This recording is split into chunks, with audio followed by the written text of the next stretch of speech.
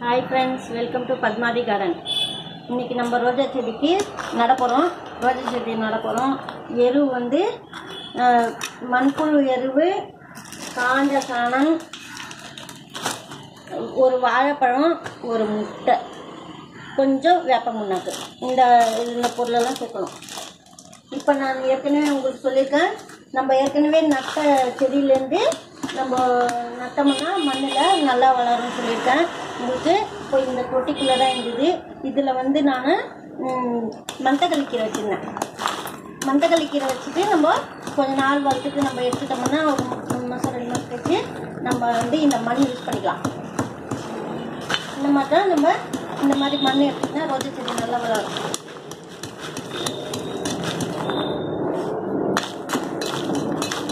நம்ம வந்து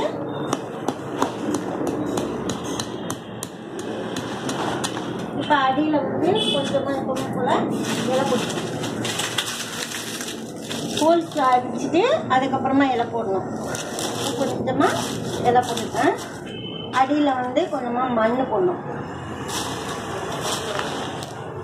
இந்த மாதிரி மண் போட்டுக்கணும் மணல் போடாமல் மண் மட்டும் போட்டால் போதும் மணல் இருந்தால் பரவாயில்ல அமர்லாம் மண் போடணும் இப்போ கொஞ்சமாக காஞ்ச சாணம் வந்து மக்கன எரு நான் இது போல் எப்படி போடணும் அந்த மாதிரி தான் இந்த செடி நடணும். முட்டை வாழைப்பழம் வைக்கிறதுக்காக.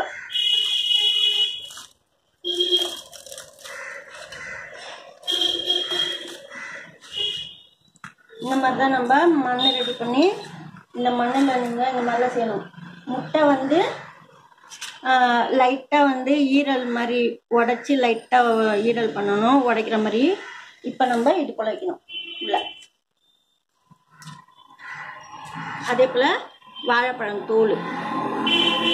லைட்டாக கீறலாம் இல்லைன்னா அப்படியே கூட வைக்கலாம். லைட்டாக இது மாதிரி லைட்டாக ஒரு கோடு மாதிரி போட்டு இந்த மாதிரி உள்ள வச்சிடலாம். வச்சுட்டு நம்ம திருப்பி மண் போடணும்.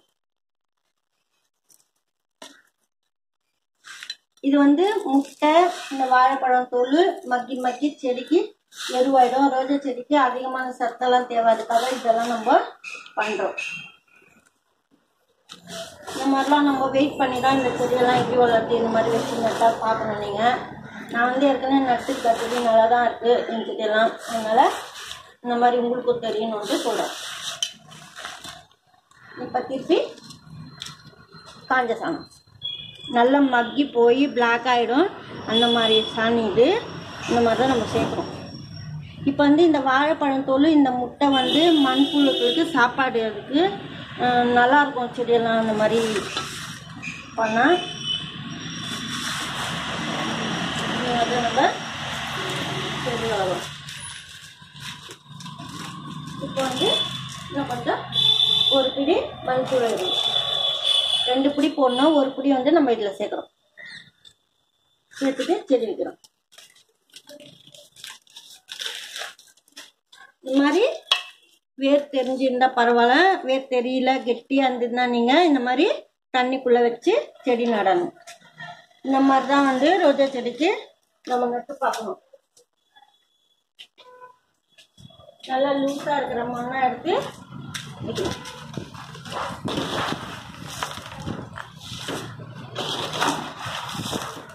இந்த மாதிரி நீங்கள் ஒரு செடி வளர்த்து அந்த மண்ணை நீங்கள் இந்த மாதிரி வளர்த்திங்கன்னா சீக்கிரமாக அது மண் புழு புழுங்கெல்லாம் நல்லா சுத்தத்துக்கு வேர் சுத்தத்துக்கு நல்லா நல்லாயிருக்கும் இந்த மாதிரி தான் நம்ம ரோஸ் செடி நடுறோம்.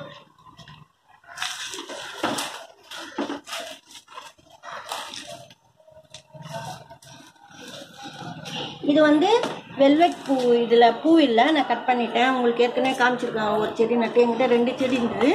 இதில் ஏற்கனவே ஒரு செடி நட்டுட்டேன். இப்போ இந்த மண்ணில் ஒரு செடி நடுறேன். இந்த மாதிரி தான் இதுவும் புதுமையான மண் தான் உங்களுக்கு எரு மண் இதை போல் கூட நீங்கள் நட்டு பார்க்கலாம்.